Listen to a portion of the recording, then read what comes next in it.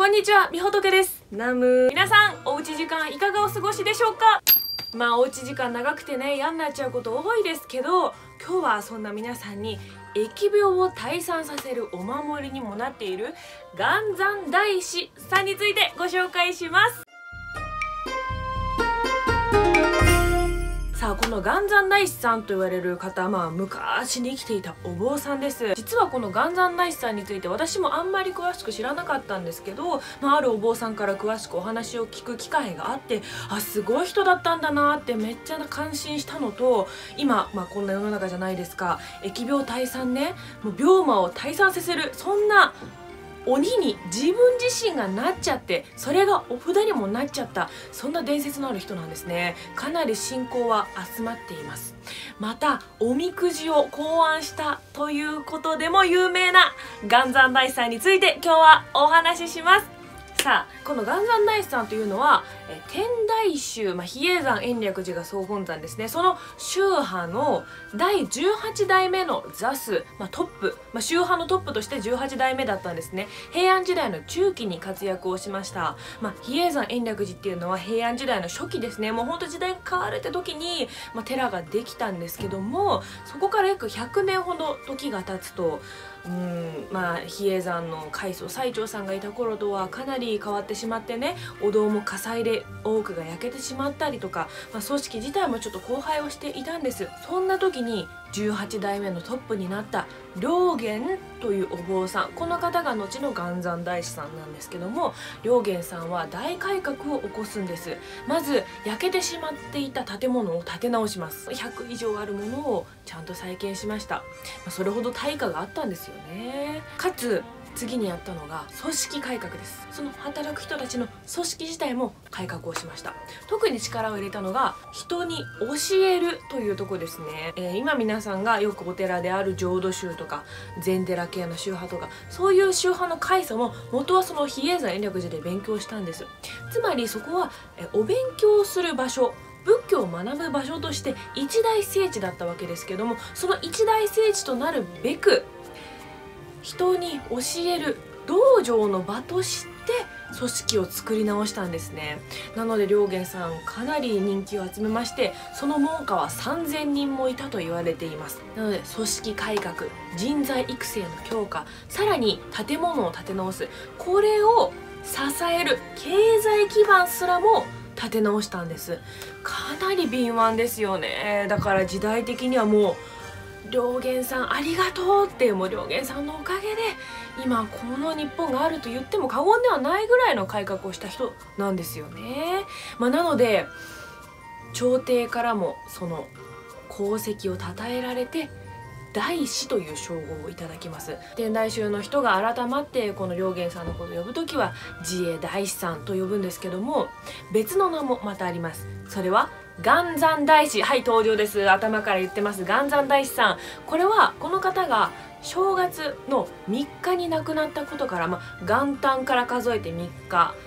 だから元山大師さん、まあ、仏教ではえその人が死んだ日命日を重んじる傾向にありますので、まあ、その命日が、え元旦から3日だったことで、え元山大師さんと民衆からは呼ばれて、まあ、今でもいろんなお坊さんは基本的には元山大師さんというお名前で親しまれていますね。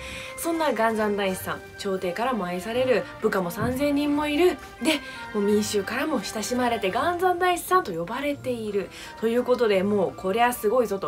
信仰の対象にまでなったんですね。大師という称号がつく人は天台宗数々いらっしゃいますけども信仰の対象となっているのはこの元山大師さんだけなんですね。如意輪観音の化身とも言われています。今比叡山延暦寺に行くとまず西の塔東の塔っていう2つのメインエリアがあってそのプラスもう1個横川と書いて余川と読むエリアがあるんですけどもその東西余川東東斎藤余川でこの3つのエリアからなってるんですけどもこの横川エリアは元山大さんのエリアでもあって岩山大師堂と呼ばれる、まあ、岩山大師さんがお祭りされている建物もあるぐらい。すごいですよね、まあ、比叡山延暦寺は最澄さんが作ったよってところまでは歴史で習うかもしれないんですけどもその中高の祖、うんと、中ほどを起こす、まあ、まず海藻がダーンと作りました。で、まあ、そのままの勢いがちょっと弱まってる時にまたブワッと盛り返した。そんな中高の祖が元山大師さんなんですね。だから今で言うと何だろうな。はいそんな元山大師さんこっからやっと本題です。この方もう一つすごいパワーがあったんです。それは法力に優れてました。法力ってなんだろうって思うんですけど仏教の世界では法力と言って、まあ、人の力以上の何かすごいパワーがある人っていうのが現れるんですね。まあこれは修行を積むことによって手に入ると言われていますが、まあ、なんだろう実際それが科学で科学で実証されるとかわからないですよ。嘘かもしれないけどもそれが叶っちゃやってもおかしくないだろうと言われていたりそれぐらいあ救われたなっていう人がいるってことなんですよね。つまりまあ法力っていうのもかなり携えていた方なんです。でまあ、ある時元山大師さんがもう70をもう中盤に差し掛かった頃当時で言うとも超高齢者ですよね。長生きですよ70代って。そんな時街中で疫病が流行っちゃったんですね。流行り病。街の人たちみんな苦しんでました。で、比叡山にいた元山大師さん。なんと元山大師さんも疫病に侵されてしまったんですよ。こんだけ修行に励んでね心身ともに法力まで携えちゃってる。そんな最強の元山大師でさえ疫病にかかった。そこで元山大師さんうわーっと自分のその法力で疫病を追っ払ったんですね。ただ追っ払ったけどめっちゃしんどかったんですよ。そんでいやこれ自分でもこの元山大師でもまあその時はまだ死んでないから元山大師呼ばれてないですね。この両元でもこんなに疫病を払うの大変なんだからそりゃ市中の人たちは苦しいだろうなって思ったんです。そこで元山大師さんは、えー、その今となっては元山大師堂と呼ばれる、まあ、その当時、えー、さんが住んでいたお堂の中でこれぐらいの鏡の前で疫病退散の鬼寄りを始めるんですよ。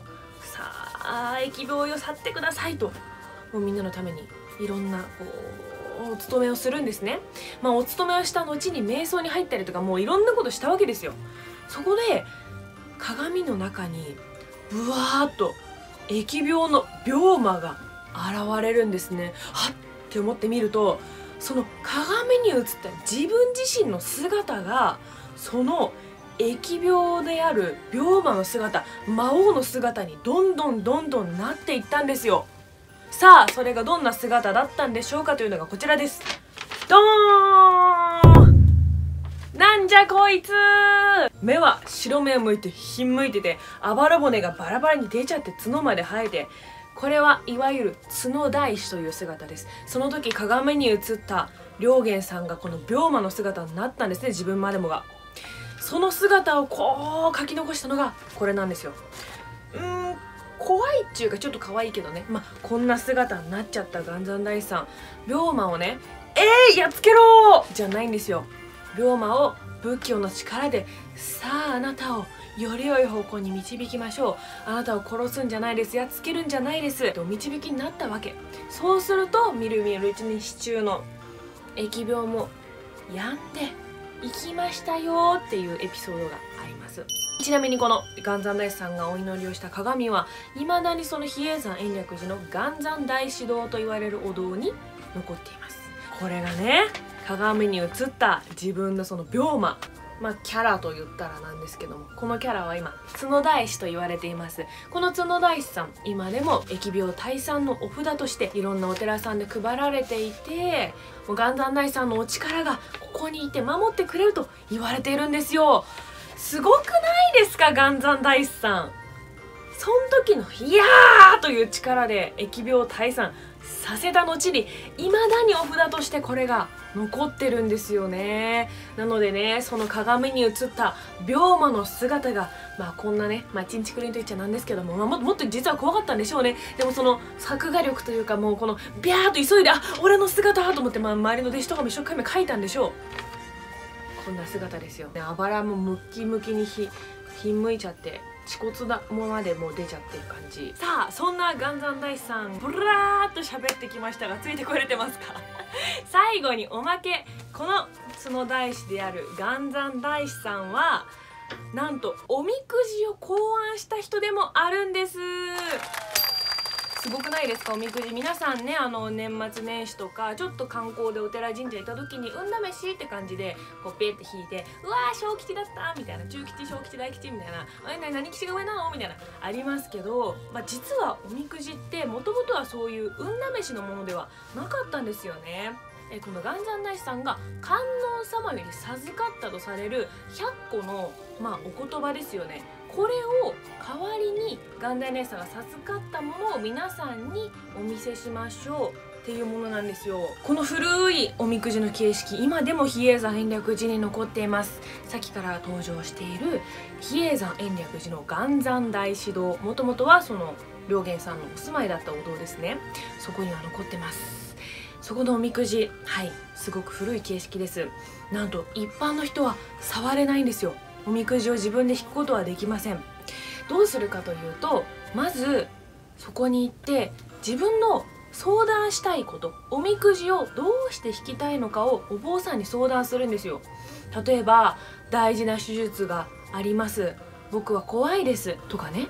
お仕事会社をやってます。ちょっと業績悪いです。会社を畳むべきでしょうか。それとも何とかするべきでしょうか。とかまあ、恋愛夫婦喧嘩しちゃってどうしてもとかね子供のこととかいろんなお悩みをまずはお坊さんに相談するんですね。その相談するお坊さんというのはその元山大師堂を守るトップである当主寺えー、当たる執事当主寺さんにまず相談をするんです。でそこでお坊さんはまずお悩みを聞いて分かりました。では観音様より授かっている、えー、100, 100通りあるこのお言葉を中から引きますけどもいいですかね？と。まず確認をします。くじを引くんですけども引く前には必ずお経をあげます。元山大師さんの前でこうお経をあげて、えー、あんたらかんたらやって仏様の力をお借りした上でその当主さんがおみくじをガラガラガラと引きます。でそれで出てくる観音様の言葉を読み上げてお伝えする。ただ読み上げるだけでちょっと難しいんで解説もします。でこれはどういう意味なんですよっていう言葉をそのままお伝えします。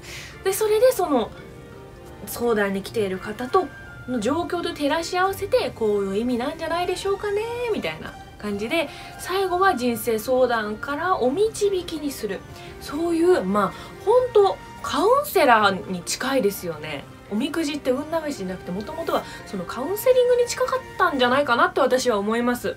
うん、大吉中吉小吉なかったんですよね。元山内さ拝める場所。東京だとえ調布の深大寺というところのお寺さん。聞いたことありますかね？調布の深大寺でも大きな元山大師さんがお祭りされてます。